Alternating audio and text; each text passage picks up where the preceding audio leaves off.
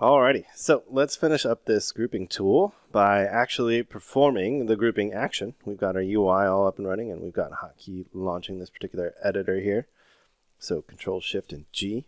Uh, we can enter a name and we can fire off some code with this button right here.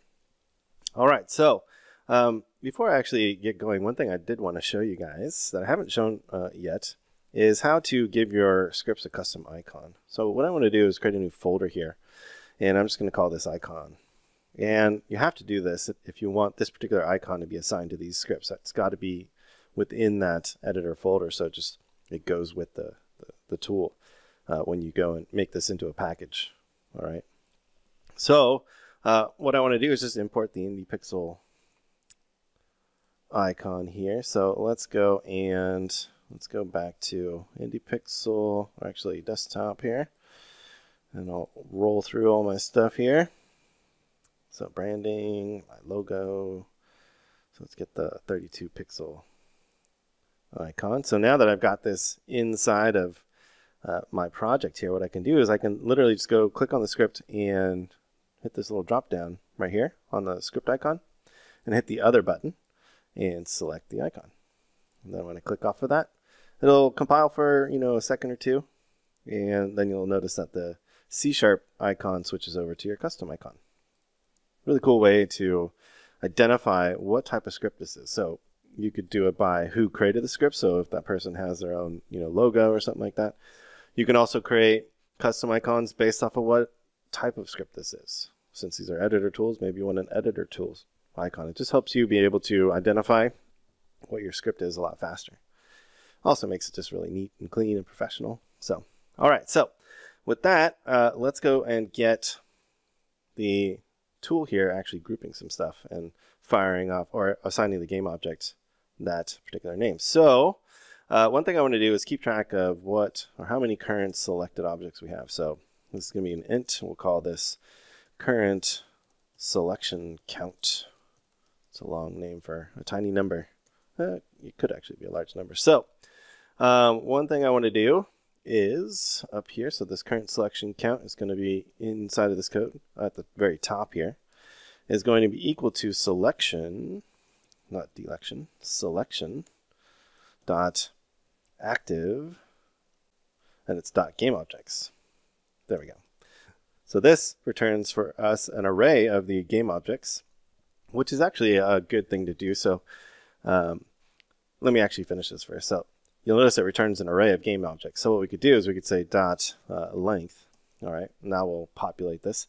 But I do want to be able to access that, the game object. So what we're going to do is create a private array of game objects, like so. We'll call this selected. Okay, and what we can do then is just assign everything from our selection.gameObjects method here. Okay, and we don't want the length anymore. Uh, and then we'll just take the current selection count is equal to selected dot length.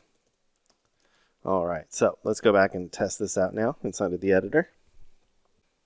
And we, we also need to be able to display that information as well. So I lied. Let's go back up here. So what we're going to do is we're going to say editor, editor, uh, GUI layout dot label field. All right, we're going to say selection count like so. And we'll add on the current selection count dot to string like so. All right, and then I'm going to want a little bit of space between all this. So let me show you another way to do spaces. So we can do a GUI layout dot space.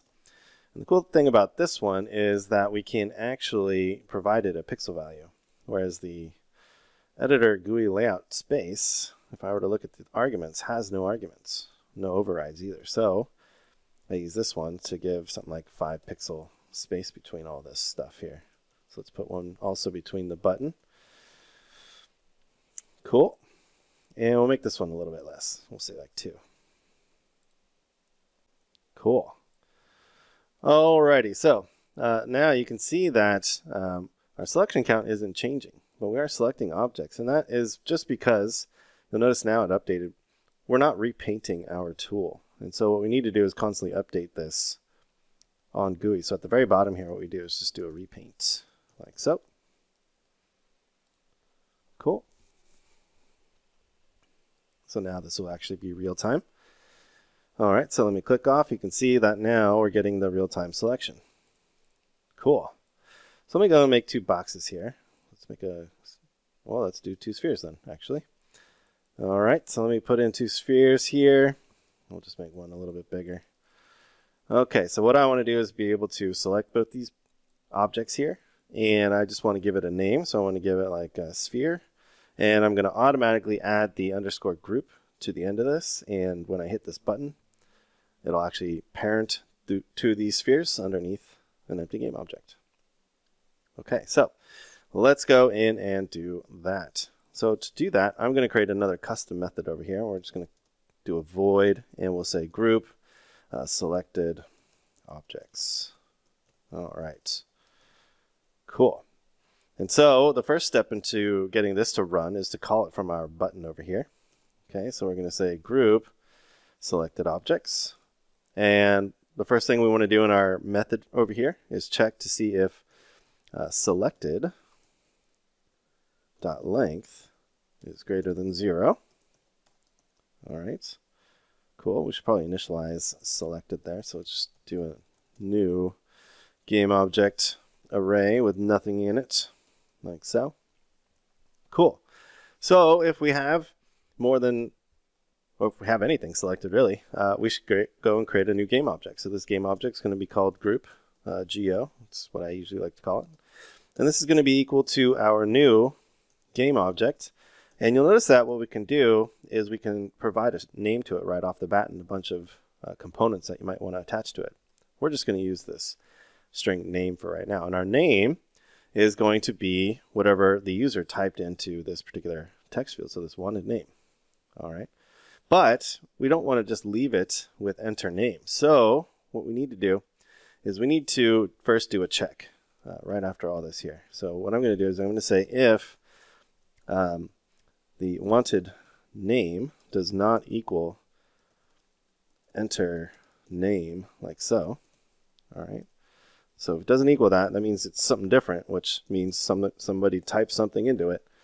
Otherwise, if it does equal that, then we should do a little bit of a error dialog for the user just to tell them that they need to actually put something in there. So we can do the um, editor utility dot display dialog like so. And this takes the title, so we'll just say group grouper message or something like that. You can put in whatever you want. And we'll say what's the message? So the message is going to be you must provide a name for your group. And then for the button, we'll just say OK. Like so. Perfect. All right, so let's just go make sure that that works. So I'm going to close this down, relaunch it with my hotkey, and hit group selected. And you'll notice that because I didn't change the name, it says you must provide a name for your group. Perfect. So if I were to type in sphere and say group selected, we get a new game object up here. All right, and that's just because we haven't named it yet. So we'll give it a name. And so over here, we're going to give it our wanted name plus underscore grp. All right, because I just don't like to have to type that in all the time. And sometimes I mistype it, then I have to go and fix it. And that's like 20 seconds of my time taken up when I have lots to do. So that's why we write tools and we automate things for ourselves. Cool. So now we have the name assigned to our group. All right. And then what we want to do is we want to take all of the selected objects and we want to parent them underneath um, our group. So what we'll do is we'll just come over here and we'll do a for each. So let's say for each uh, transform. Yeah. Actually, it's going to be game object. So for each game object, right? Because this stores a whole bunch of game objects. Uh, we'll call this cur geo in selected like so. All right, so we're going to loop through each of the game objects that's stored in the selected array. And we're going to say that the cur geo, whichever current child we're working on, or current object in the, the array here, dot transform, dot set parent. All right, so the parent is going to be our group geo dot transform. Okay, so let's talk about that here really quick. So this set parent method is attached to or part of the transform class. All right, and it takes a, a transform, so we have to access the transform of the current group that we just created up here. And so that basically assigns that to the group. So let's go and test that out. So for each game object that we currently have selected, it'll get parented to our new group geo. Just like that. Okay, so let's just select these two guys and we'll hit group selected and voila, there we go. We now have these objects grouped. Perfect. And that, my friends, is how we do that. All right, so a good um, upgrade to this would be to add in a ungroup selected. All right, so you can go in here and basically ungroup all these guys. Uh, but I'll let you guys, you know, work on that. Let me know if you guys have any questions. Thanks so much.